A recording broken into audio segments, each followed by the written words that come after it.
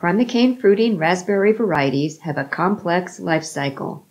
Depending on how they are managed, they can produce fruit late in the season on the current year canes called primocanes, and additional fruit in the middle of summer on the second year canes called floricanes.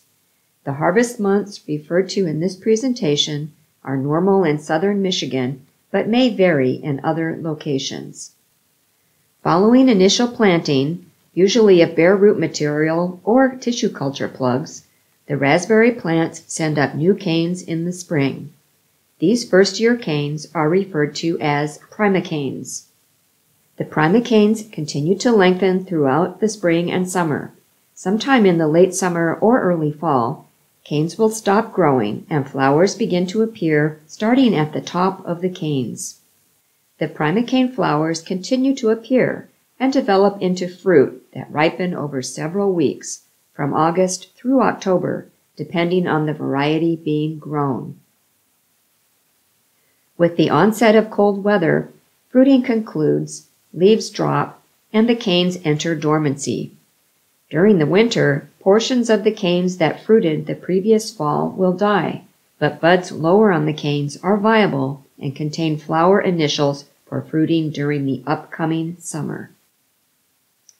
At this point, growers have a choice.